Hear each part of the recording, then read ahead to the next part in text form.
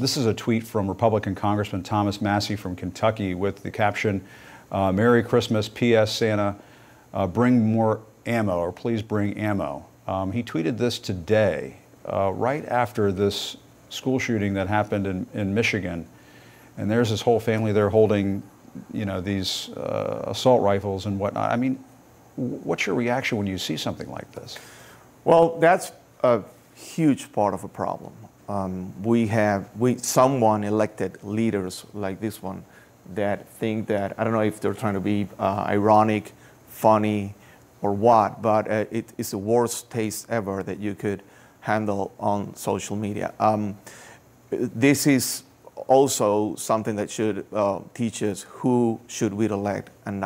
What's up, everybody? Major Retired Richard Ojeda here, and no one, and I mean no one, should be permitted to have an M60 machine gun laying around their living room like this Jacqueline from Kentucky. What kind of depraved family photo is this? You know, who in the hell are your relatives and friends that you take these types of photographs for? And as an elected official, what kind of message are you trying to send with this image? This picture was released less than a week after we had yet another mass shooting in an American high school in which we lost American children to gun violence. All across the country, gun violence is exploding at horrific levels. And yet, here in Kentucky, we have this Thomas Massie gloating with his family, carrying weapons intended for war, not photo ops. Did our founding fathers intend this type of image when they wrote the Constitution and included the Second Amendment?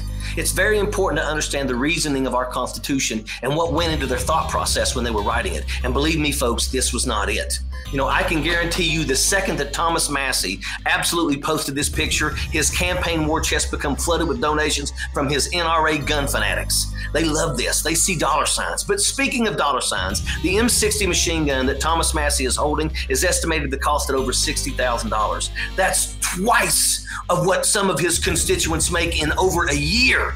For a Kentucky representative who represents some of the poorest people in America, this is unacceptable. As an enlisted man, I carried the M60 machine gun, and when I was a company commander conducting security operations all over the country of Iraq, we had a few of these mounted on our vehicles. And I know everything there is to know about this weapon. Do you think that the military handed us those weapons for photo ops? Do you think the military just hands these out to any recruit that enlists? To carry this weapon is an immense responsibility. You have to get trained, qualify, and prove that you are capable of operating this weapon. And clearly, Massie is not. The M60 machine gun can fire 550 to 650 rounds per minute. 7.62 millimeter rounds can puncture through a human's organs and rip them out his back. This weapon can kill thousands of people in under five minutes in a crowded area, and you can legally own it if you have enough money most gun owners are not okay with this picture by Thomas Massie. They're not. Most people understand that weapons of war do not belong in people's living rooms for photo ops. Responsible gun owners are sick to their stomach when they see pictures like this, which is nothing more than a politician wanting others to think that he is somehow a tough guy, and I can assure you he's not.